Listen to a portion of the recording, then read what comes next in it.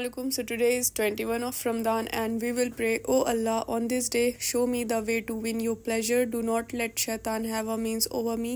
Make paradise an abode and a resting place for me. O the one who fulfills the request of the needy amen तो आज से वो important ten days start हो रहे थे तो आज इक्कीसवां रमज़ान था लैलतुल कद्र की रात थी तो सभी लोग जाग रहे थे पढ़ रहे थे तो आज हमने सोचा हम सवेरे, क्योंकि बहुत हौच पौच हो जाता है, इसलिए हम जल्दी जाके खावा के फिर पढ़ना स्टार्ट करेंगे। तो हम आज जल्दी ही साढ़े तीन बजे के करीब चले गए किचन में, ताकि हमारा शहरी जल्दी हो सके। और दूसरी तरफ़ एक नया रूल स्टार्ट हो गया था कि अब स्लिप के बगैर बगैर हमें जो है ना शहरी मिलेगी, ना इफ्तार मिलेगी, जो अटेंडेंस में हमें लेनी होती है। क्योंकि कुछ इशू आ रहे थे जिसकी वजह से। तो पहला दिन था, हमसे स्किप हो गई, हम नहीं ले पाए। लेकिन आपा ने हमें दे दिया, क्योंकि हम रोज़ आते जाते हैं, वो हमें जानती हैं। तो हमसे स्किप हो गई नेक्स्ट टाइम हम नहीं वो गलती करेंगे, लेकिन हमें मिल गई। और आज शहरी में था ब्रेड बटर और मिल्क पैकेट तो यही था कि जब ये बनता है तो बहुत ही ज़्यादा भीड़ हो जाती है और जगह नहीं मिलती। तो मैंने लिया बॉयल एग जो कि बहुत बड़ी गलती कर दी लेकर, उस वक्त मुझे नहीं पता था। तो हमने एक रॉ लिया और एक बॉयल लिया और साथ में हमने बनाई मैगी। क्योंकि हम भूख लगी थी, रात में हमने खाया नहीं था तो हमने ढेर सारी मैगी भी बना ली। सॉरी नूडल्स बनाए। देखो, यहाँ मैं सबूत तो दूँगी नहीं, मैंने कौन सा प्रोडक्ट लिया है, क्योंकि मुझे इतनी अकल है। तो अब जो आएँगे कमेंट करने की आप फलाना प्रोडक्ट यूज़ करें तो हमें अकल है कि हम क्या दिखा रहे हैं। कहीं कहीं हम मोस्टली गलती गलती हो जाती है, जहाँ होती है, मैं एक्सेप्ट करती हूँ। लेकिन हरदम मैं प्रूफ नहीं दूँगी। सिंपल सी बात है। ब्रेड बनाने के बाद आज मैंने ये एग फ्राई किया और देखो सही बना है अच्छा सा। बस गोल नहीं बना। तो ये सब हमारा तैयार हो चुका था। ये समझो हमारा रात का खाना था। सहरी नहीं थी, रात का खाना था, क्योंकि हमने खाया नहीं था तो हमें भूख बहुत लगी थी। तो हमने ये खाया, फिर लास्ट में बारी आई कि अब चाय बनाना है और जब तक चाय बनाना था, तब तक बहुत अच्छी खासी भीड़ हो गई थी कि एक भी स्टोव खाली नहीं था। तो हम वेट करने लगे स्टोव का कि खाली हो, तब हम अपनी चाय बनाए क्योंकि एंडिंग हम अच्छी करना चाह रहे थे। तो काफ़ी टाइम से हमारी वेटिंग क्लियर हो नहीं रही थी तो अंकल से देखा नहीं गया। उन्होंने हमारे लिए स्टोव जलाया। ये थोड़ा डेंजर है, इस वजह से इसको कोई यूज़ नहीं करता। तो उन्होंने ये हमें जला के दिया ताकि हम अपनी शहरी टाइम से ख़त्म कर लें। और माशाल्लाह से अंकल हमारी हमेशा हेल्प करते हैं। जब भी सहरी डिले होती और हमें स्टोव नहीं मिलता तो हमें दे देते हैं हमें प्रोवाइड करा देते। हैं तो बहुत ही दिल से दुआ निकलती है इनके लिए। कभी कभी किसी से कह के दुआ लेना अलग चीज़ होती है और किसी से अपना जस्चर से उसके दिल पे इम्पैक्ट करना और वो जो नेचुरली निकलती है तो वो अलग चीज़ होती है। तो ऐसा होता है। And I like second type जो ये दूसरी वाली होती है कि अनइंटेंशनली हम कुछ ऐसा करें कि सामने वाले के दिल से खुद ब खुद दुआ निकले। शहरी कंप्लीट करने के बाद फिर मैंने सोचा चलो टहला जाए और ग्राउंड में जाने की ज़रूरत नहीं, ये इतना बड़ा एरिया काफ़ी है बालकनी का, चारों चक्कर। तो मैंने वहाँ पे लगाना स्टार्ट कर दिया और फिर मैं फ़्लो में आ गई और लगाती गई। और साथ में तस्वीर भी किया, ये देखो मेरी तस्वीर थोड़ी अपडेट हुई है मेरे पास एक डिजिटल तस्वीर हमेशा से थी जो मेरी नानी दी थी लेकिन उसकी बटन ख़राब हो चुकी तो थी। ये वाली तस्वीर मेरी एक फ्रेंड ने दी थी और ये ऐसे हुआ था कि वो हम पाँचों के लिए लेकर आई थी तो इसमें बहुत एक्साइटिंग कलर्स रहते हैं ना तो मैं कि मैं ये वाला मुझे जो सबसे अच्छे कलर होंगे मैं वो वाला लूँगी। तो उसने मेरे कान में धीरे से बोला कि अनम तुम ये वाली लो क्योंकि इसमें एलईडी लगी हुई जो किसी में नहीं लगी हुई थी। तो इसलिए ये वाली थोड़ी अलग है और मुझे अच्छी भी लगती है। तो टहलते टहलते सुबह हो गई और टहलने का रीज़न एक ये भी था कि मैंने पानी बहुत ज़्यादा पी लिया था, जिससे मुझे सोया नहीं जा रहा था।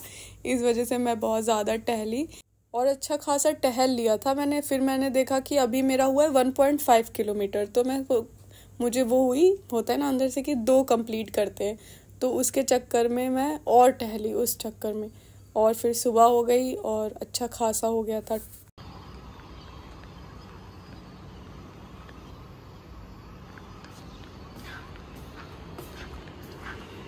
आज आपको एक चैनल बताऊँगी जिसमें मुझे तो पर्सनली बहुत अच्छा लगा उनका आइडिया सब कुछ। उसमें हर दुआ को बहुत ही अच्छे तरीके से वीडियो बनाई गई है और पिक्चर के फॉर्म में डिपेक्ट की गई है। तो ऐसे हमें याद रहता है क्योंकि हम जो सुनते हैं, हम भूल जाते हैं। लेकिन अगर हम कोई चीज़ हमारे जहन में पिक्चर के फॉर्म में बनती है तो वो हमें ज़्यादा देर तक याद रहती है। तो इसमें भी यही चीज़ है। तो आप ज़रूर विज़िट करिएगा और देखिएगा। आज मैं लैब नहीं गई क्योंकि मुझे लैब वर्क कुछ था नहीं खास जो भी काम था, लिखने, पढ़ने वाला था तो आज रूम पर ही रहकर किया। तो फिर इफ़ार का वक्त हो गया। हम इफ़ार करने डाइनिंग में गए, लेकिन हमें नहीं पता था आज क्या होने वाला है। तो आज थोड़ा अजीब चीज़ हुई।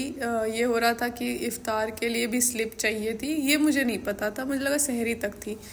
तो वहाँ पे स्लिप मांगा आपा ने, हमारे पास तो थी नहीं तो उन्होंने डायरेक्ट मना कर दिया। मतलब एक उनका जो जेस्चर था, मुझे बिल्कुल नहीं अच्छा लगा एटीट्यूड कह लो या जो भी है, उन्होंने डायरेक्ट मना कर दिया कि नहीं, आप स्लिप नहीं है तो हम नहीं देंगे।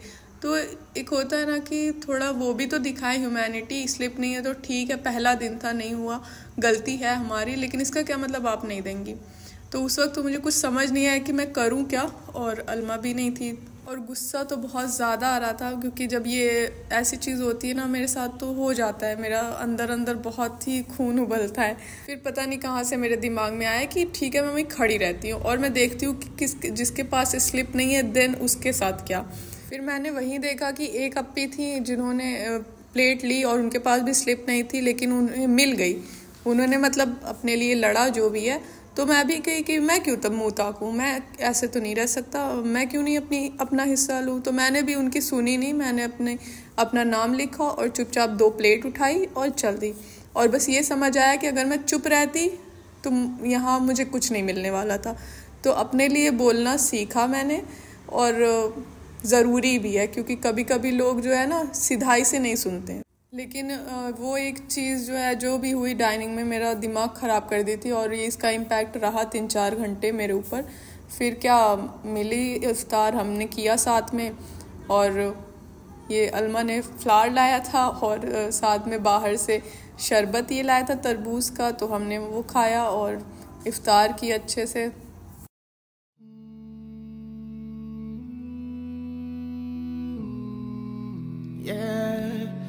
I breathe in, I breathe out, I call your name, Yalla. Without a doubt, you are my Rab. Without you, I'm dust. So profound.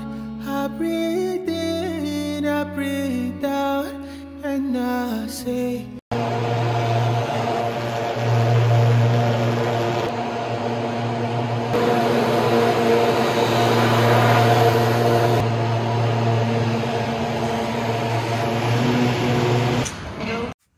हो गया था खाना खाने का और आज मंडे था तो हमें मिली थी बिरयानी।